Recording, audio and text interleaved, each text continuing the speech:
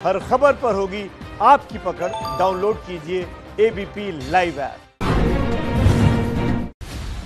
मुख्यमंत्री केजरीवाल बोले, दंगा पीड़ितों को राहत पहुँचाने का काम जारी है, खाना बंटना शुरू हुआ है 18 एसडीएम लगाए गए हैं।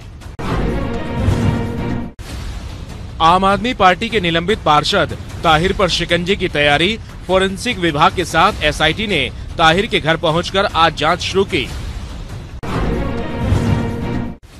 दंगों के आरोपी पार्षद ताहिर हुसैन को आपने सस्पेंड किया। कल दर्ज हुआ था हत्या का केस। आईबी के अंकित के परिवार ने ताहिर पर लगाए हैं गंभीर आरोप।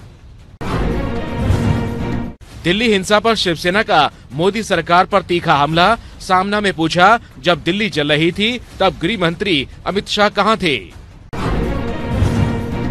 दिल्ली हिंसा पर बीजेपी के सहयोगी अकाली दल के सांसद नरेश गुजराल बोले, उन्नीस सौ चौरासी सिख दंगों जैसी थी ये हिंसा, पुलिस ने फ़ोन तक नहीं उठाए। भुवनेश्वर की जनसभा में गृह मंत्री अमित शाह विपक्ष पर बरसे, बोले विपक्ष ने सीएए के खिलाफ झूठ फैलाया है। बीजेपी बोली, सोनिया गांधी ने सीएए पर बच्चों को इस पार या उस पार कहकर भड़काया, सोनिया हमें न सिखाएँ राजधर्म। दिल्ली हिंसा की जाँच के लिए कांग्रेस अध्यक्ष सोनिया गांधी ने बनाई पाँच लोगों की जाँच कमेटी। दिल्ली के हिंसाग्रस्त इलाकों में जाएँगे ये नेता।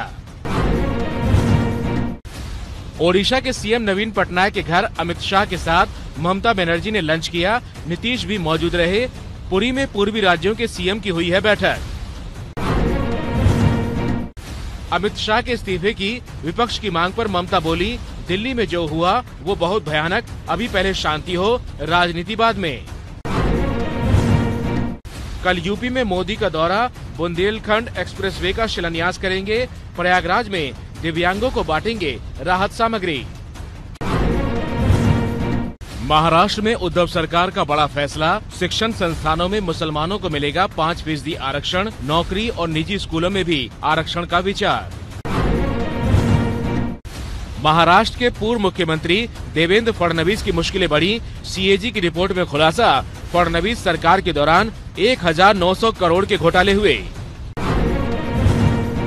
महाराष्ट्र के औरंगाबाद में राज ठाकरे की पार्टी ने ऐलान किया जो पाकिस्तान और बांग्लादेशी घुसपैठियों की जानकारी देगा उसे पाँच हज़ार इनाम मिलेगा पोस्टर लगाए। केजरीवाल सरकार ने जेएनयू में देश विरोधी नारे लगाने वालों के खिलाफ मुकदमे की मंजूरी दी। कन्हैया कुमार के खिलाफ भी राजद्रोह की धाराओं में चल सकता है केस। पंजाब सरकार का बड़ा फैसला, राज्य के सरकारी कर्मचारियों की रिटायरमेंट की उम्र 60 साल से घटाकर अट्ठावन साल की गई।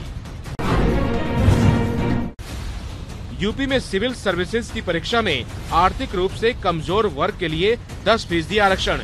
विधानसभा में योगी सरकार ने पास किया बिल। यूपी विधानसभा का सत्र समय से पहले खत्म करने पर विपक्ष का प्रदर्शन। सदन में मास्क लगाकर पहुँचे विपक्षी विधायक, आवाज़ दबाने का आरोप लगाया।